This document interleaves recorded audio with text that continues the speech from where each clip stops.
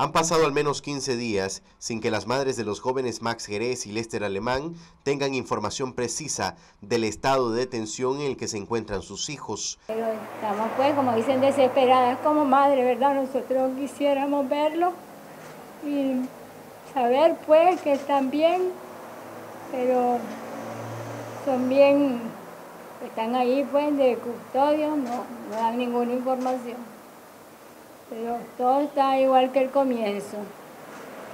Así que nosotros quisiéramos que ustedes divulguen esto pues a, nivel internacional para que haya más presión y a ver de qué manera se puede lograr que podamos ver a nuestros hijos. En estos 15 días que yo no he perdido ningún día de asistir, pues razón no dan. Solo admiten, me han admitido el, el agua, y me han admitido una vez este, la, lo, lo, digamos, lo para higiene personal, como el cepillo, la pasta, este, dos calzoncillos, em, jabón de baño y champú.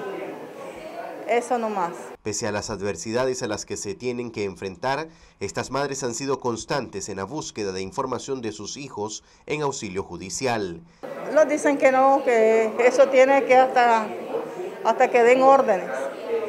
Y a veces nos contestan, a veces no, a veces nos ignoran. Y yo siempre pregunto, pues, ¿y cuándo? ¿Cuándo? Y nos van a, a dejar ver, ¿cuándo nos van a dar razón?